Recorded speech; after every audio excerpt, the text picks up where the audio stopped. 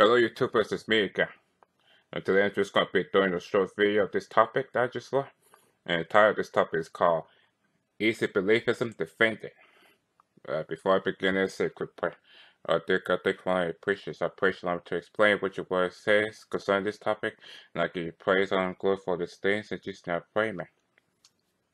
Okay, turn to uh, in the book of Matthew. Uh, Matthew.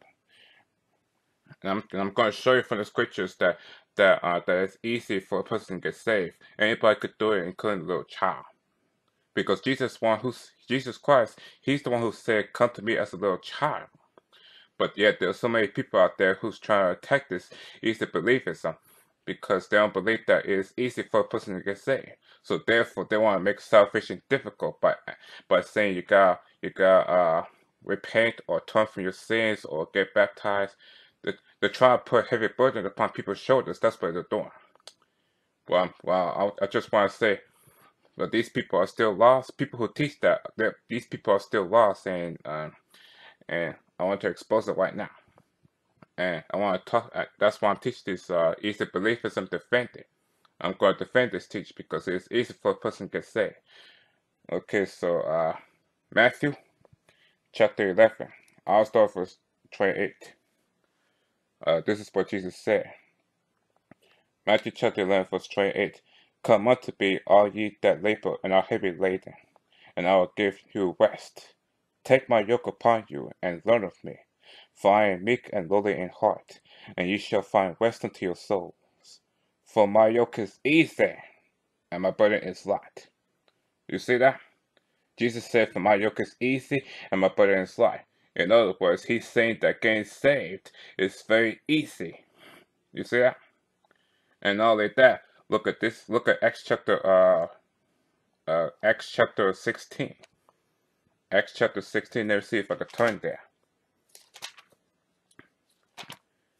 Acts chapter 16, verse uh, 30, 31. And we'll see if getting and we'll see if getting saved is difficult the heart. Acts chapter 16, verse 30 31. And brought them out and said, Sirs, what must I do to be saved? And they said, Believe on Lord Jesus Christ, and thou shalt be safe in thy house. But then you say, uh, just believe on Jesus Christ, that's that's all we gotta do? Yes, according to this verse right here, that's what it says we gotta do. Believe on Lord Jesus Christ and you'll be saved.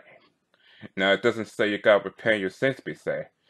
It doesn't say you got you gotta go to church be saved, and it doesn't say that you gotta uh you gotta uh, turn over the new leaf or get baptized or whatnot. It doesn't say you gotta do any of those things be saved. It says we gotta do only one thing, and that's to believe on Lord Jesus Christ, and you will be saved. And that's the truth right now. But if, but if you say, and if you say, no, I don't believe that, then then then you're then you're attacking the words of Jesus because Jesus Christ, he's he's the one who said to uh, to believe on him for eternal life.